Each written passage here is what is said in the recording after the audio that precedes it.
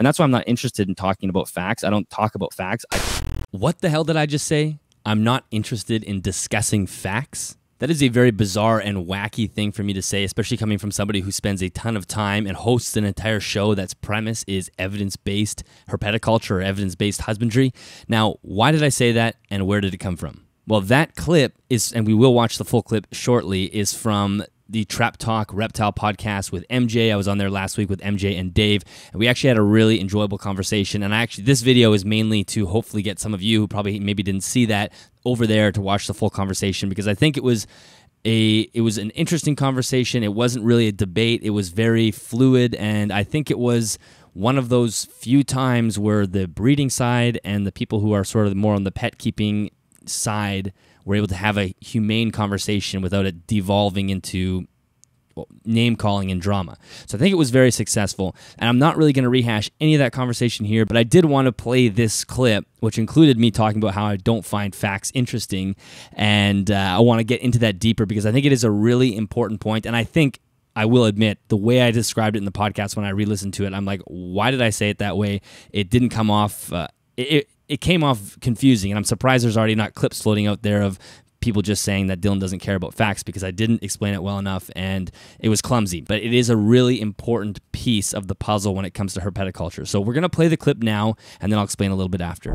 I think the agenda that I push, if we can call it an agenda, is simply progression of care. And, and like you said, there's always a better way to do that. And I think, as you mentioned, the it's the the rack is a very breeder a breeder specific tool. That is the breeder tool. People don't keep ball pythons in a rack as pets. That's just not the case. I agree. And, and I think that there, there for a, a while, and this could be from you know, quote unquote, my side pushing back too hard on the breeders, saying, you know, attacking, doing this ad hominem attack. And I, but I do, but I do see that from you know the advancing side, the, this quote unquote advancing side, which I, you can take or leave that what that means. But I think that pushed breeders into trying to convince people that the rack was the pinnacle of care.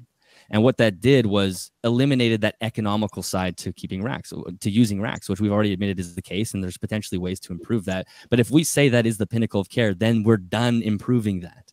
We're actually saying the rack is perfect. There's absolutely zero need to uh, make any adjustments ever, which is also to say that we know exactly what a ball python needs and what they need to survive and have long-term health, which I don't think anybody here in this conversation would would say. Nobody's going to say, I know exactly what a ball python means. And that's why I'm not interested in talking about facts. I don't talk about facts. I talk about the philosophy of keeping.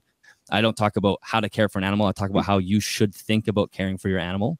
And I can tell people who are watching that there are some incredible ball python studies going on as we speak that are, you know, going to extract some of the data that we've been talking about tonight. That's not in my wheelhouse. I'm sure I'll report on it with the podcast, but it's more about understanding that if we commit to something being 100% perfect, we're done. You know, you don't move from that point. That's right. it. But you know, life's all about evolving, so we should never be settled or complacent. I, I feel like, and and like you said, there was things that we said tonight that just came off the top of our heads that you had no influence on. We just thought naturally or instantly, like what what can be better about a rack?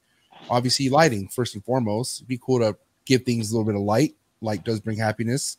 Um, so, but I mean, I'm not going to argue. I mean, I have ball pythons in a rack because I breed ball pythons. Other than that, I wouldn't have them in a rack.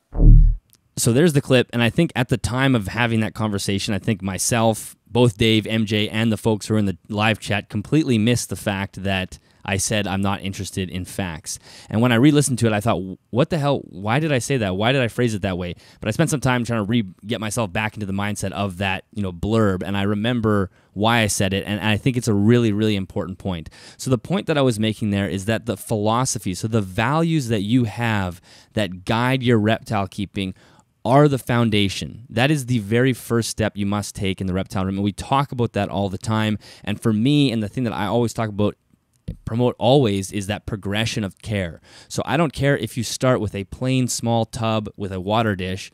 I think your goal should always be to slowly, as you have the time and the money and the energy, to slowly improve your care so you can get to a point where the animal has a higher state of welfare. And as far as I'm concerned, I don't think that journey ever stops. I think that will always be a continuous path. There are always going to be new things we learn about just the, the reptiles in general or their environments or how to care for them in captivity that will allow that to be a never ending journey, which I think is one of the best parts about the reptile hobby. So, the point that I was making about, quote, not being interested in facts is that the facts don't supersede the, the, the philosophy, the values of your care. So, for me, the values are improving using nature as a guide, always trying to take steps towards natural replication. I think that's the way we should be progressing. And if you have that as a foundation, then the facts get layered on on top of that. You use the facts to guide your care. But if you don't start with the value structure, if I don't come down here and, and decide and commit to progressing towards natural replication, then the facts don't always enter this room, right? You could so that might sound confusing, but just imagine that my value at the bottom was to make money. Right? If my if my value at the bottom was to just make money, then the facts about wild natural history aren't going to enter this room because there's no need for them here. So I'm going to miss them.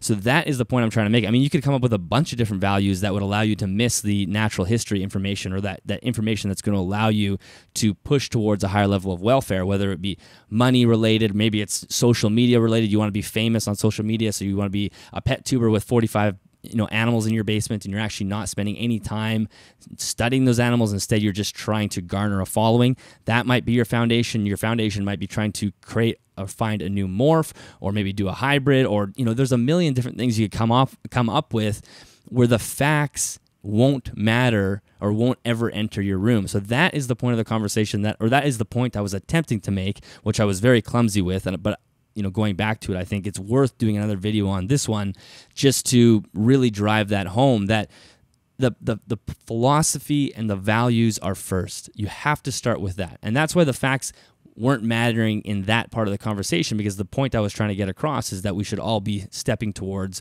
or we should all be progressing our care. And in my opinion, that's my values and i really do think that should be the values of most reptile keepers of course they're going to be breeders who are focused on money or people you know there might be other reasons that are other reasons that are very valid that aren't progressing your care but i think most people I don't I want to don't want to put a percentage of it, but the majority of people should be in the camp of wanting to do better for their animals or, or progress towards that wild replication.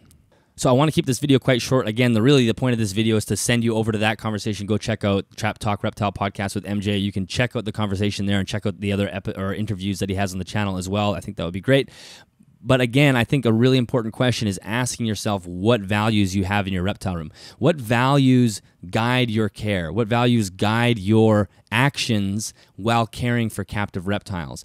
And I th- some of you might not have thought about it before, so you don't actually know. And I think it does simplify things. If you come up with a solid structure, then the next steps become very obvious. For me, it's very clear that I should stay on top of the data the natural natural history data for the animals that I have in this room. I don't necessarily have the natural history data for green iguanas, for example, because I don't keep those and I never will. But for these ones, you know, I try to keep my finger on the pulse with that. And it's because of the value structure that I start with. So that framework is so important. And that's why I said facts don't matter. It's not that they don't matter, it's that they're not the initial piece. Because if you don't have a foundation, you will not utilize those facts to increase the welfare of the animals that you keep.